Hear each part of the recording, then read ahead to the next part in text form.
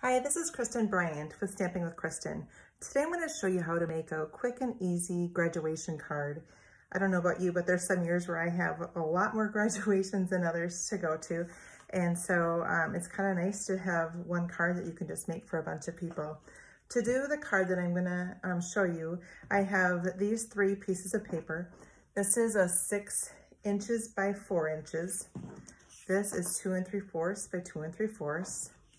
And this is, will be the inside where you write on. And that is three and three fourths by two and three fourths.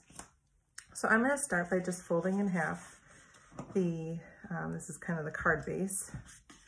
And so just um, put that on there like this. And then I'm gonna make my own little tassel. And I have here, this is the Baker's Twine Essentials Pack, and this is carrying over in our new catalog. And so I'm going to um, take a bunch of this. Now I um, just cut a piece of cardstock that's two and three fourths because that's the length that I want for this. And so I'm just gonna wind this around probably like five times. Kind of depends on if you can do more, if you want it to be bigger than that. And I'm gonna snip off the end. Then I'm just gonna um, make kind of a bigger piece here.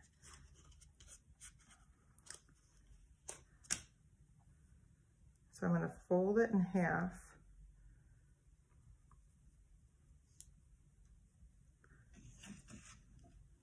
It's always harder to do this on video, working with twine.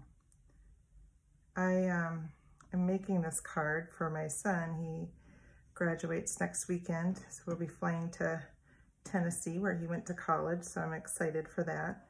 So I'm just tying this in a little knot, and then want that to be in the middle.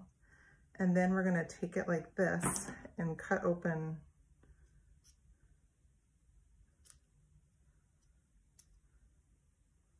So then you have it like this and I've got this, I just leave it extra long because I'm gonna feed that through the cap. Um, the next thing I'm gonna do is take a little bit more and this is just to tie this together so it's not just wide open. There have been times when we have carried tassels. Um, sometimes we've had black and gray ones, and sometimes we've had bright colored ones. So if you still have some of those around, you could use those. But if not, you can easily make your own, um, just with ribbon that you have on hand. And so I'm just tying this into a knot. It looks like a mess, but it's holding it. So now what I like to do, now that I've got this, I just cut off the extra. So I'm gonna keep this one long and I'm gonna trim off the rest.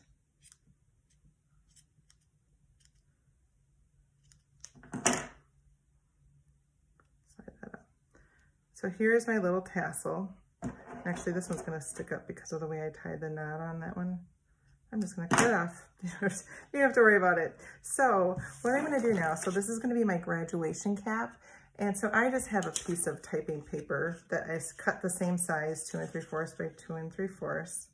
And I'm just gonna fold this in half and in half again to find the center. So then I know that when I pierce it, I want it to be right there. And then I just keep this and um, just keep using it again and again for other cards. So I'm gonna take my um, little take your pick tool and I'm gonna have the piercer end. And I'm just gonna stab right in the center. So now I know that that's perfectly in the center. Then I'm gonna take this long part here and feed that through. Sometimes you may need to um, trim the ribbon if it's, or the twine, if it's not wanting to go through like right now.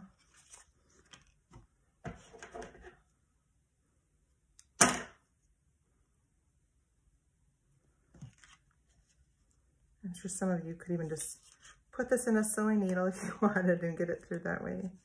So I have it um, just like this. And um, what I like to do just to make it even easier than just tying a big knot, I just put a little adhesive underneath it um, on one of the diagonals. and that'll just hold it in place. Now, because there's a hole here, I wanna cover that up. And so I'm gonna use our matte black dots. And this comes, there's um, several sizes of these, and I'm gonna use the largest one. I'll use the other end of the take your pick tool, which needs more putty. Twist this up there.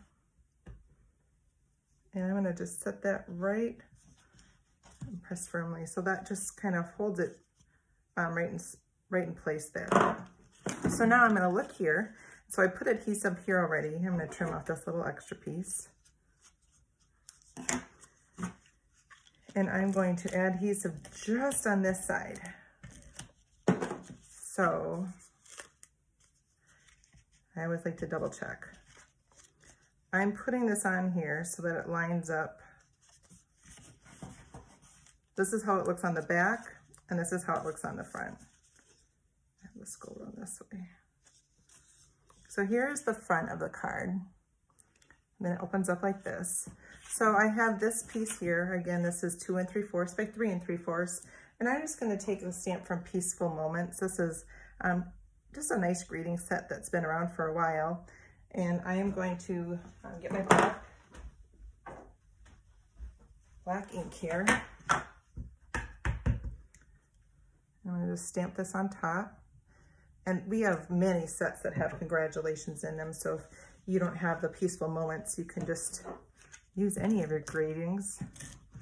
And then I just put this in here. Um, I did these measurements because they fit in our regular envelopes. And so that way um, you can just put this in the mail. You can, um, don't have to create your own envelope for that. I've also done it, um, like here's just with the basic gray um, and the black, just to kind of have some different variation. I've done them in green, if that's the school, and I, I looked up online, and for my son, like they just do black. So that's why I wanted to do this one in all black, but you could end up, you could even add tassels um, down here if you wanted to do that. So again, this is a pretty simple um, graduation card, but it's just kind of fun. It's just not your typical um, regular card. It's just kind of nice to have the shape. So I will put the information on my blog for this too in case you want to see the measurements there. I hope you get time to create soon.